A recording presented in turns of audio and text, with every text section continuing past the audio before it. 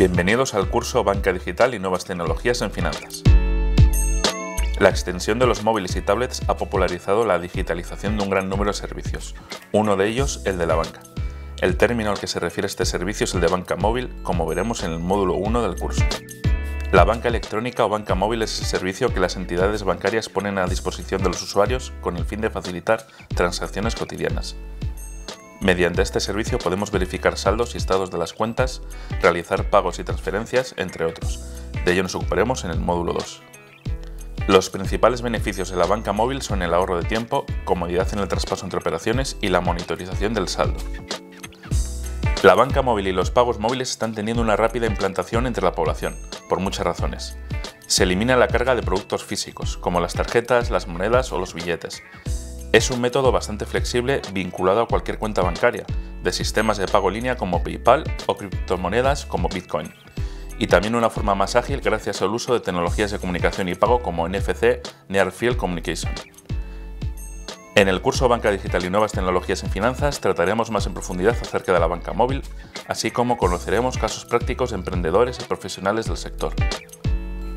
En el módulo 3 vamos a tratar el concepto Cloud Computing, o servicio en la nube. Se trata del conjunto de programas y servicios alojados en un servidor conectado a la red accesible desde cualquier ordenador con conexión a Internet sin necesidad de instalar aplicaciones y donde también se almacena la información generada. Además, permite acelerar la innovación de procesos y reducir costes. También mejora la experiencia del usuario ya que facilita y flexibiliza los procesos, pudiendo monitorizar y analizar todos sus movimientos. El cloud computing ya podemos encontrarlo en un gran número de sectores, como es la banca móvil. La banca móvil permite realizar operaciones, supervisar transacciones, confirmar pagos o enviar dinero de forma más sencilla. En este módulo analizaremos el papel del cloud computing en el sector financiero. El auge de la digitalización del sector financiero también ha afectado al tipo de moneda con el que realizamos transacciones, ya que han aparecido diferentes tipos de monedas digitales, la principal de ellas Bitcoin, como veremos en el módulo 4. Bitcoin es una divisa electrónica con la que podemos hacer ventas y compras a través de la red.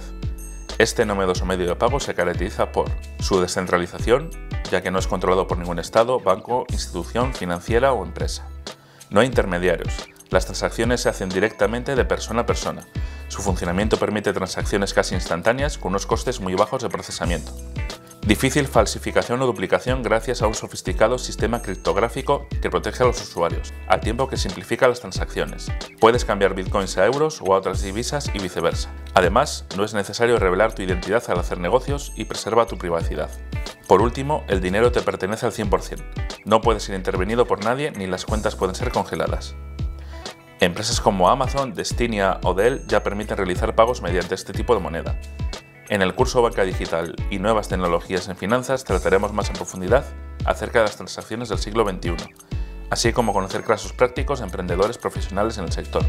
Uno de los conceptos claves del curso es Big Data, del que nos ocuparemos en el módulo 5. Pero, ¿qué es el Big Data? Denominamos Big Data a la gestión y análisis de enormes volúmenes de datos que no pueden ser tratados de manera convencional, ya que superan los límites y capacidades de las herramientas de software habitualmente utilizadas para la captura, gestión y procesamiento. El objetivo de Big Data, al igual que los sistemas analíticos convencionales, es convertir el dato en información que facilite la toma de decisiones incluso en tiempo real. La diferencia entre las aplicaciones analíticas y de gestión y los nuevos conceptos de Big Data son las llamadas Vs. Estas son volumen, velocidad, variedad, veracidad y valor. El uso de Big Data ya se ha aplicado en un gran número de aplicaciones como predicciones en resultados electorales, análisis de tendencias o de conductas. Con estos datos ayudaremos a tomar buenas decisiones en nuestra empresa ahorrando tiempo y costos. Bienvenidos al curso Banca Digital y Nuevas Tecnologías en Finanzas.